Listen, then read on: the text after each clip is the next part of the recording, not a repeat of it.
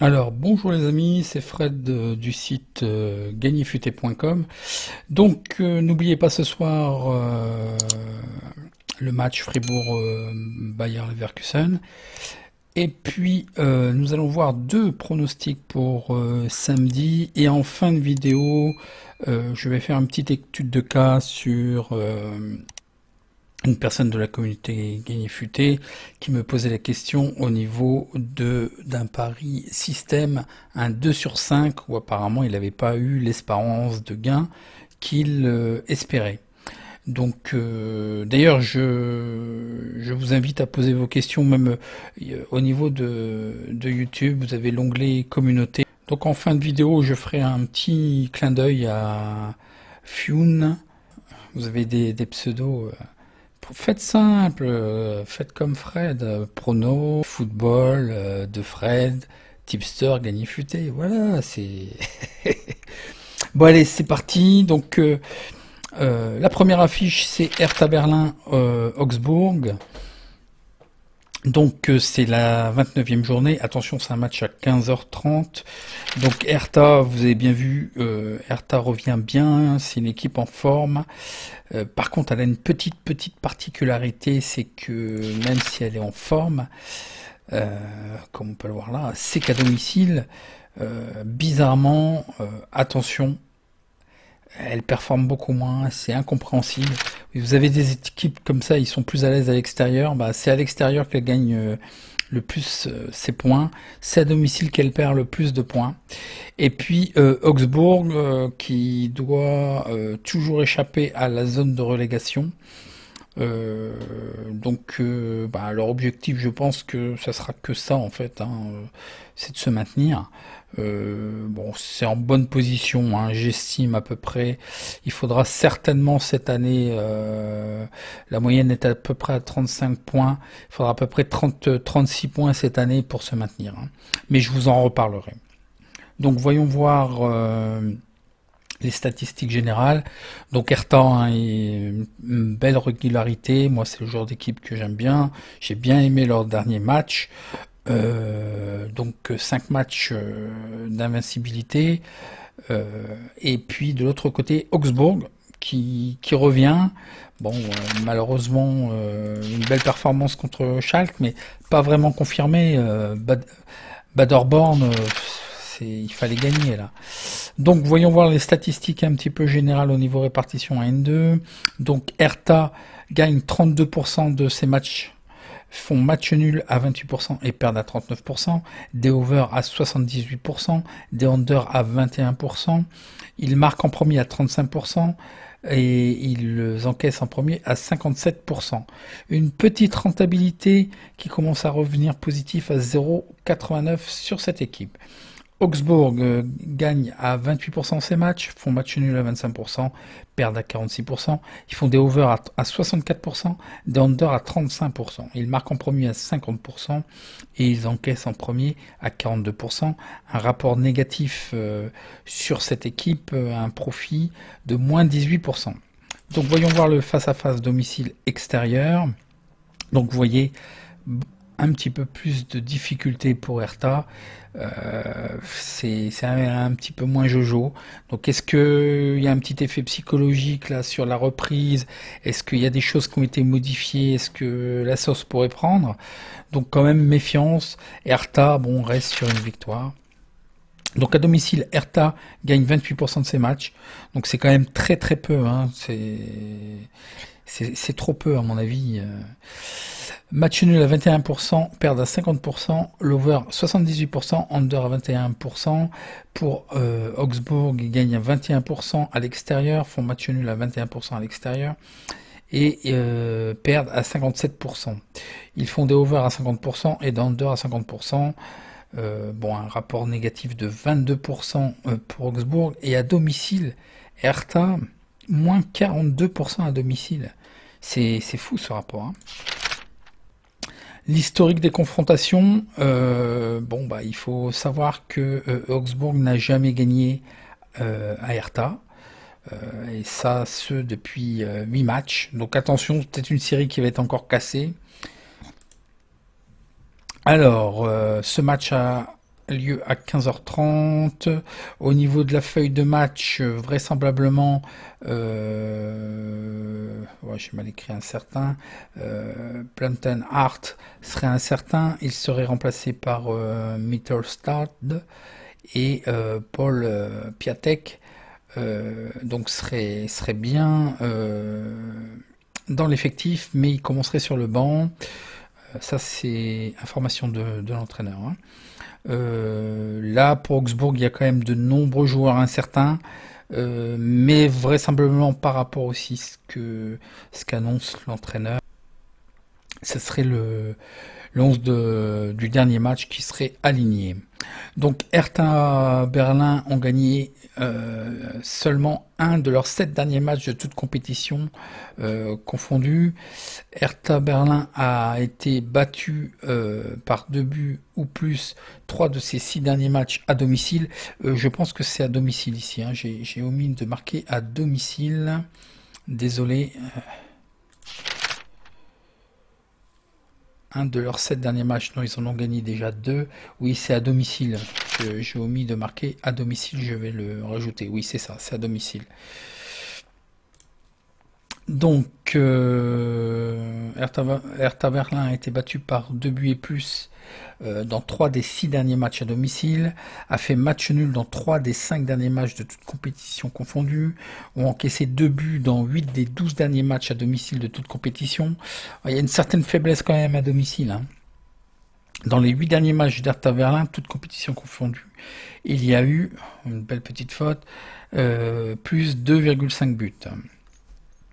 Pour Augsbourg, Augsbourg n'a remporté que 4 des 26 derniers matchs à l'extérieur, a enregistré une mauvaise série de 6 défaites par 2 buts et plus lors des 12 derniers matchs, de toutes compétitions confondues, a concédé 2 buts lors de 8 des 12 derniers matchs de toutes compétitions. L'historique des confrontations, les cotes, le 1 est à 1,95, le match nul à 3,75, la victoire extérieure à 3,85.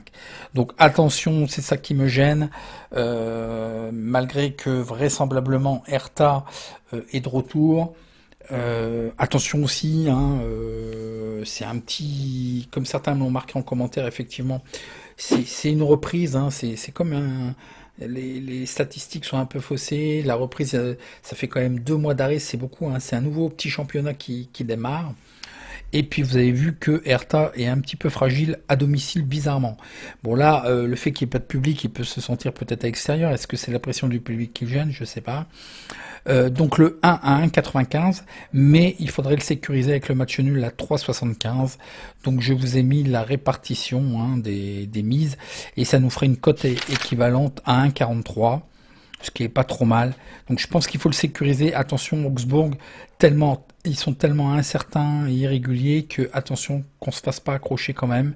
Donc si vous le voyez pas, euh, ben, n'hésitez pas à vous abstenir. Hein. Et des opportunités, euh, euh, les autres championnats vont démarrer, on a d'autres opportunités à venir. Je vous donne juste mon avis, je vous fais un focus. Vous prenez, vous prenez pas. Moi, je vais le tenter et le sécuriser. Voilà quoi. J'ai jamais pris l'argent dans vos poches pour miser à votre place. Hein. Il faut être des grands garçons, hein. il faut assumer. Hein.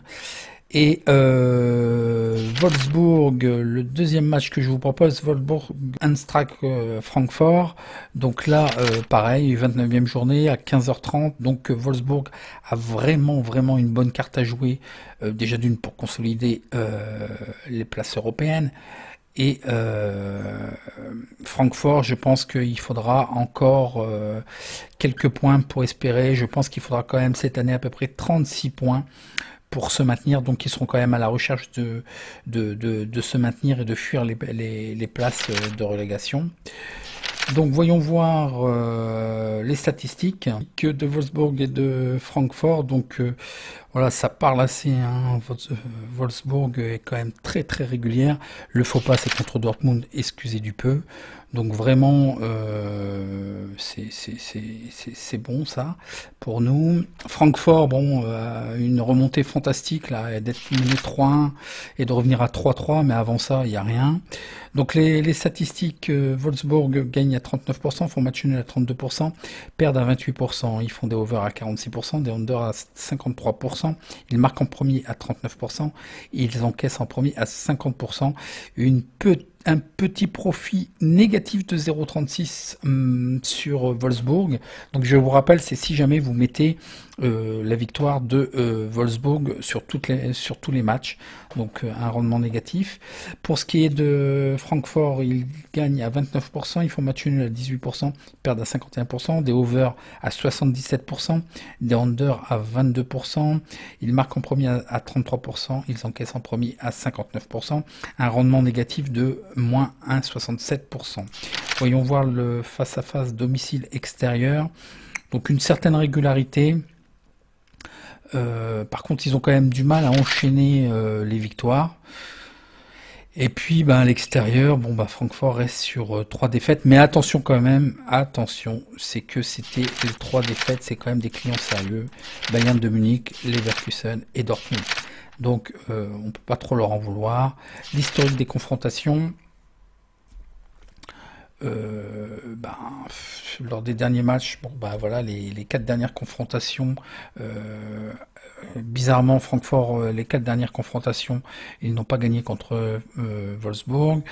Et est allé, Francfort est allé gagner qu'une seule fois lors des six derniers matchs contre Wolfsburg à Wolfsburg. Donc voyons voir les statistiques générales. Donc 29e euh, journée, 15h30. Euh, forme douteuse côté Wolfsburg de Camacho, euh, Guidla Vogui et Mehdi euh, aussi problème physique.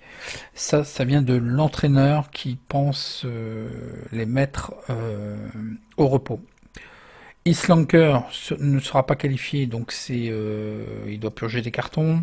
Et euh, toujours absent, Paciencia. Donc voyons voir les statistiques. Lors des 12 derniers matchs de toute compétition, Wolfsburg a été invaincu dans 10 rencontres. Wolfsburg ont gagné seulement un de leurs six derniers matchs à domicile. Voilà, c'est aussi la faiblesse à domicile.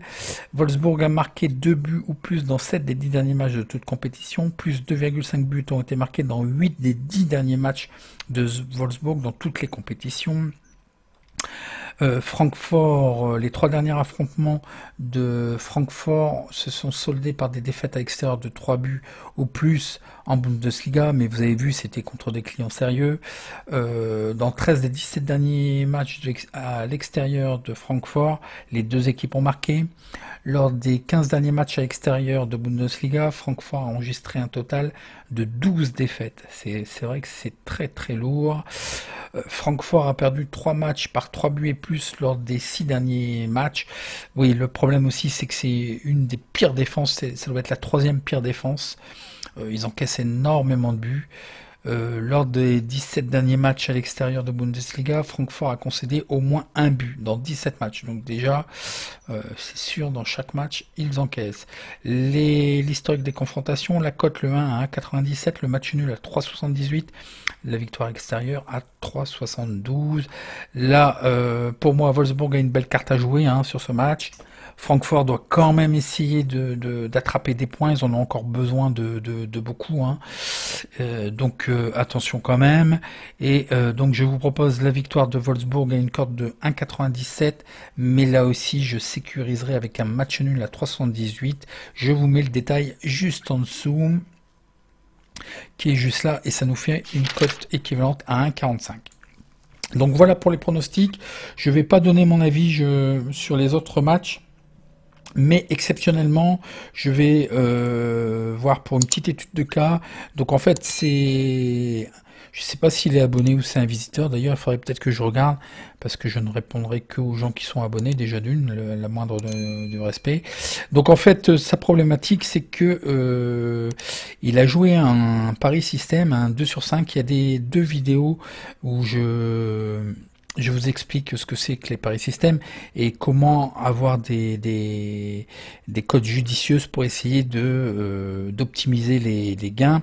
Donc en fait dans la vidéo, ce que je dis plutôt c'est que euh, pour euh, un 2 sur 5 de mémoire, je crois que c'est 3,17, c'est-à-dire qu'en fait si vous voulez miser sur 5 matchs, Euh, si vous prenez, alors c'est un très mauvais exemple, hein, il faut surtout pas prendre ce type de pari. Je, je, je jouais que des simples, mais j'ai fait une vidéo pour expliquer parce que au moment où je l'ai faite, il y avait beaucoup de gens qui euh, euh, me disaient oh là là, je fais des combinés, mais il me manque un pari. à chaque fois, c'est un match qui me plante ou autre. Donc voilà, j'ai fait une vidéo sur les paris système qui peut être une réponse. Mais moi, je vois plutôt en fait de, faire un pari système, mais de, choisir des cotes pour que s'il y a que par exemple pour un 2 sur 5, d'avoir euh, un remboursement en cas de moins 1. Mais là, c'est moins 3. Donc pour moins 3, je vous dis, le 2 sur 5 de mémoire, je crois que c'est 3,17. Euh, donc déjà pour trouver des 3-17, il faut jouer des victoires à l'extérieur, des matchs nuls. Donc vous pouvez avoir une rentabilité hein, si vous trouvez des matchs très très bizarres et qui, pourraient se, renverser. Euh, pourquoi pas Il en suffit que 2 sur 5 qui passent et vous allez être remboursé de votre mise. Donc là, il a misé 10 euros et il pensait gagner 4,40. Sauf qu'ils me disent pas. Euh, donc quand, quand, vous posez des questions aussi comme ça, essayez d'être le plus clair parce qu'en en fait, il faut vous tirer les, les verres du nez. J'ai dû poser plusieurs questions. Moi, je veux bien vous aider, mais soyez le plus précis possible. Je suis obligé de, de, de demander question par question. Là, il faut me donner euh, à la limite les matchs, les cotes et euh, quels matchs ont été gagnants et quels matchs étaient perdants, et puis les, les, les cotes. Donc en fait, euh, voilà, et il avait un potentiel de gain de 16,70. Bon, moi je l'ai calculé, euh, c'était pas 16,70, vraisemblablement, s'il s'est pas trompé dans les cotes, alors je pense qu'il s'est trompé dans les cotes, euh, donc la, multiplication de toutes les cotes, ça faisait 3,63. Mais le potentiel de gain de tous les tickets, parce qu'en fait un 2 sur 5, ça correspond à 10 doubles. Donc sur le premier ticket, donc c'est la première cote multipliée par la seconde cote multiplié par la mise, donc ça fait 1,38. Et idem, après c'est ainsi de suite, c'est donc toujours la première cote multipliée par la troisième, multipliée par mise, 2,04. La première cote multipliée par la quatrième cote, euh, multipliée par mise, 1,44. Le, le, troisième, le quatrième ticket, donc euh, la cote de 1,20 multipliée par... Euh, le, la cinquième cote à 1,29 multiplié par 1, ça fait 1,55. Et ainsi de suite. Après, on reprend le, la deuxième cote multipliée par la troisième. Et après, et après on, on, continue. Donc en fait, tous ces tickets sont là. Donc euh, voilà, euh, euh, tu n'as plus qu'à regarder quels sont les codes qui ne sont passés, quels sont quels ne sont pas passés, et tu regardes ici et tu additionnes pour voir si euh, effectivement tu n'avais que 4,40€ à gagner ou est-ce que tu t'es fait peut-être euh, un petit peu enfler ton ticket. Moi je te conseille tout le temps, je vous conseille tous de prendre une photo de votre ticket avec le code qui est en bas, parce que s'il y a des réclamations, et puis d'avant d'aller toucher votre ticket, lorsque vous faites euh, plusieurs tickets, touchez d'abord vos gains et après vous misez vos nouveaux, tickets. Parce que comme ça, ça ne porte pas confusion dans le calcul. Et il y a des bornes pour voir euh, quel est le montant du gain. C'est de regarder avant de passer et de vérifier. Donc voilà, euh, j'espère que ça t'aura aidé et euh, je vous dis bon match pour ce soir et à demain pour d'autres pronostics.